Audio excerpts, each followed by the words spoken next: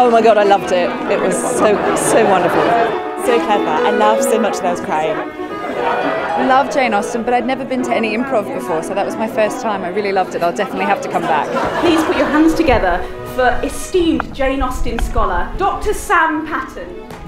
There's so much we think we know about Jane Austen, but she did actually write 796 novels. The Unusual Tale of the Man with No Face. Grime and Punishment. Pemberley Hills Cop.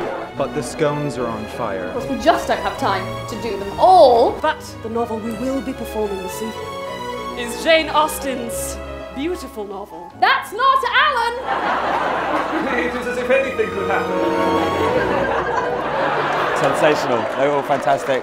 And I can't wait to come and see them again. So obviously it'll be different. I pray now that we have this long journey ahead of us. How would you advise me to grow into the man you wish I was? Eat turnips! Are you alright? Yes. Would you like a glass of water? No. Good. I wouldn't have got you one. When they kiss. Always. Yes. Happy ending. If you would want it, I would wish us to be more. If a friend can ever be more than a friend, then I wish that these friends be more than the friends that they were. Charles, you speak too much. Why is no sense of candour, of heart, of distinction? I married so low. I beg your pardon, what is your name? Margaret. Margaret. Just have one name. Ah, yes. Too poor for anything else. Of course. Daniel, you look as fine as any lady man I've ever seen. Thank you. I don't know whether to kiss it or shake it, so.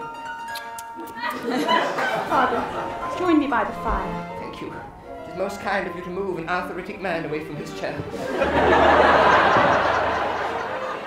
This is probably my seventh time. Every time it's completely different. Cast still stay great. And it's hilarious, like without question, every time. Wouldn't be standing here if you killed me. No.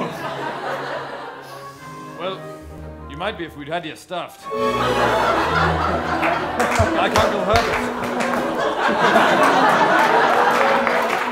Different characters, they managed that really, really well between them. It was really funny. You're going to be fine. Dr. Mencken's coming in. he'll tell it to us You're straight. not going to be fine. Was he any use? Was he any use? I don't know. Get him again for clarification. We basically got in and immediately booked tickets for the next one. Yeah. Yeah.